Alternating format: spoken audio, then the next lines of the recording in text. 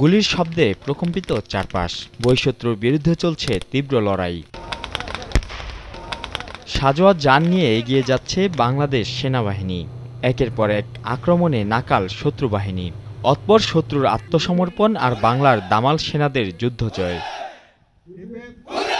এমনই গল্পের দৃশ্যপট সাজিয়ে ময়মনসিংহের মুক্তাগাছার চেচুবাজার এলাকায় চূড়ান্ত আক্রমণ অনুশীলনের মধ্য দিয়ে শেষ হল বাংলাদেশ সেনাবাহিনীর চার সপ্তাহব্যাপী শীতকালীন প্রশিক্ষণ অনুশীলন নবদিগন্ত। বিজয়ের সুবর্ণ জয়ন্তী ও বাংলাদেশ সেনাবাহিনীর পঞ্চাশ বছর পূর্তিতে এবারই প্রথম লজিস্টিক্স ফিল্ড ট্রেনিং এক্সারসাইজ পরিচালনা করে বাংলাদেশ সেনাবাহিনী। সম্প্রতি সেনাবাহিনীর হাতে আসা নতুন অস্ত্র সরঞ্জাম এবারের অনুশীলনে ব্যবহারের পাশাপাশি সেনাবাহিনীর লজিস্টিক্স স্থাপনা প্রথমবারের মতো সেনানিবাসের বাহিরে মোতায়েন করা হয়। অনুশীলনে সাজোয়া বহর, এপিসি, দূরপাল্লার এমএলআরএস, সেনাবাহিনীর ছত্রিশ সেনা ও বিমান বাহিনীর জঙ্গি বিমানও অংশগ্রহণ করে।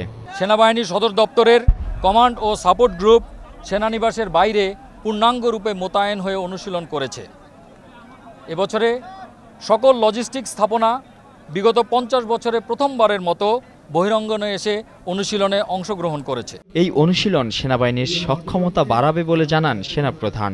প্রথমবারের মতো লজিস্টিক এফটিএক্স সেনাবাহিনী পর্যায়ে করছে।